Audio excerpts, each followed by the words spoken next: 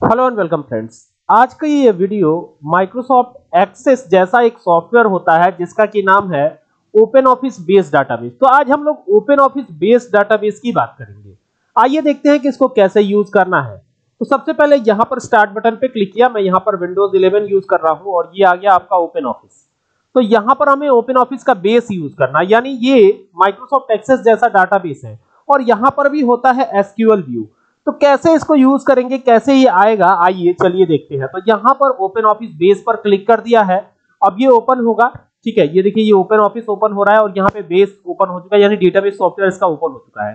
तो हमारे पास कोई बनी बनाई नई पुराना डेटाबेस तो है नहीं। तो हम न्यू डेटाबेस क्रिएट करेंगे। तो क्रिएट अ न्यू डेटाबेस पर जाकर के नेक्स्ट पे क्लिक करेंगे और जैसे ही नेक्स्ट पे क्लिक करेंगे तो यहाँ से do not register database no do not register database पे जाकर के फिनिश कर देंगे। जैसे ही फिनिश करते हैं तो यहाँ पर इस डेटाबेस का नाम आएगा। चलिए हम इसी नाम से सेव करते हैं इसे, और इसके फ़ाइल की एक्सटेंशन आप देख ही सकते हैं डॉट ओडीबी होती है, ठीक है? और यहाँ पे सेव पे क्लिक कर देता हूँ। तो ये जैसे ही सेव होगा तो एक नया सिनेरियो आपके सामने आएगा, कुछ इस तरीके का, ठीक है? अब यहाँ पर आपको दिखाई पड़ रहा होगा टेबल क्वेरी फॉर्म रिपोर्ट ये तमाम चीज़ें आपको दिखाई पड़ रही होंगी, ठीक है? तो हमें क्या करना है? तो हमें इसमें डिज़ाइन व्यू पर जाकर के बना सकते हैं, लेकिन आज का ये टॉपिक इस बात को लेकर के है कि हमें डिज़ाइन व्यू पे भी नहीं जाना है एसक्यूएल व्यू में क्वेरी लिखनी है। एसक्यूएल व्यू के अंदर क्वेरी लिखनी है। तो एसक्यूएल व्यू में आप जा सकते हैं डायरेक्टली ठीक है? लेकिन अब यहाँ पर इन तीनों ऑप्शन का यूज़ हमें नहीं करना। हम चाहते हैं कि हम एसक्यूएल व्यू में जाके बनाए। तो एक तो यहाँ से जा सकते हैं, दूसरा यहाँ टूल्स पे जाएँगे। ये टूल्स दिख रहा होगा आपको, और यहाँ पे लिखा होगा एसक्यूएल तो हम यहीं से चलेंगे और यहीं से बनाएँगे टेबल तो यहाँ पर आ चुके हैं। अब जैसे कि आप माइक्रोसॉफ्ट एक्सेस के अंदर करते हैं क्रिएट लिखते हैं टेबल बनाने के लिए। ये लिखते हैं ना? तो क्रिएट यहाँ पर भी हम लिखेंगे। देखिए सेम वे है। क्रिएट लिखा हमने। और क्या बनाना है? चूँकि टेबल बनानी है तो यहाँ लिख दिया मैंने टेबल तो क्रिएट टेबल कर दिया। और टेबल किस नाम से बनेगी? तो टेबल बनेगी यहाँ पर एक्सेस के नाम से या किसी भी नाम से बना सकते हैं। जैसे मान लीजिए, मैंने यहाँ पे स्टूडेंट कर दिया। स्टूडेंट ठीक है? तो ये हो गया स्टूडेंट के नाम से टेबल और यहाँ ब्रैकेट को ओपन कर लिया। अब इसमें फ़ील्ड कौन कौन से आएँगे? ठीक है?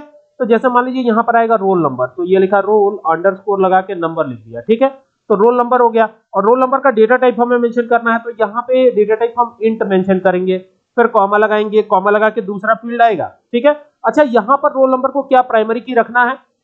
तो यहाँ पे आप सीधा भी लिख सकते हैं प्राइमरी की तो यहाँ पर मैं प्राइमरी की कर देता हूँ, यानी इसमें डुप्लीकेट वैल्यूज़ अब अलाउड नहीं होंगी, ये चीज़ ध्यान दीजिएगा, ठीक है? और यहाँ पे कर देते हैं नेम ऑफ़ स्टूडेंट तो name underscore of underscore student कर देते हैं। S T U D E N T S name of students हो गया।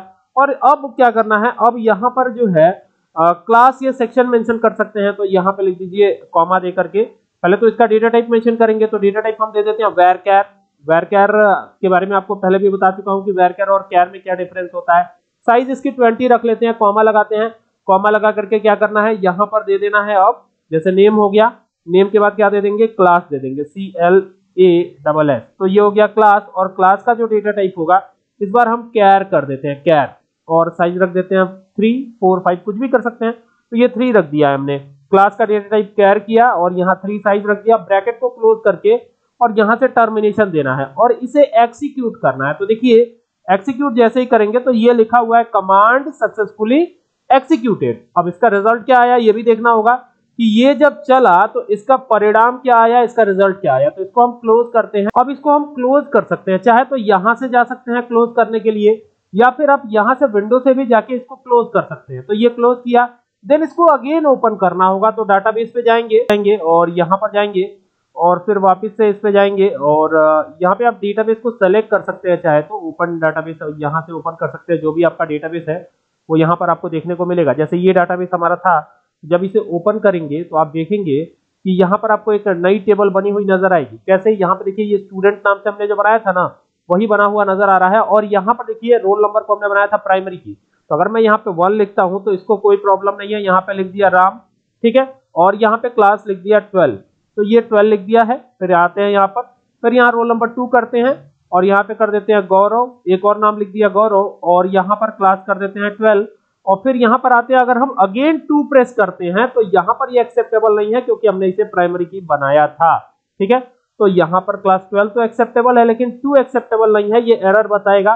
कारण क्या है कि यहाँ पर जो है, इसे प्राइमरी की बनाया गया था तो इस टू को हटाना पड़ेगा, बाकी सब तो ठीक है, लेकिन इस टू को आपको हटाना ही पड़ेगा, आप दूसरा कुछ काम नहीं कर सकते इसके लिए, ठीक है? तो आई होप कि आपको बात समझ में आई होगी कि ये टेबल बहुत ही आसानी के साथ कैसे क्रिएट करी जा सकती है ओपन ऑफ़िस बेस्ड डाटाबेस में तो अगर आपको ये वीडियो पसंद आए तो इसे शेयर कीजिएगा। साथ ही साथ इससे रिलेटेड कोई और भी सवाल हो तो आप पूछ सकते हैं कॉमेंट बॉक्स में। Thank you for watching this video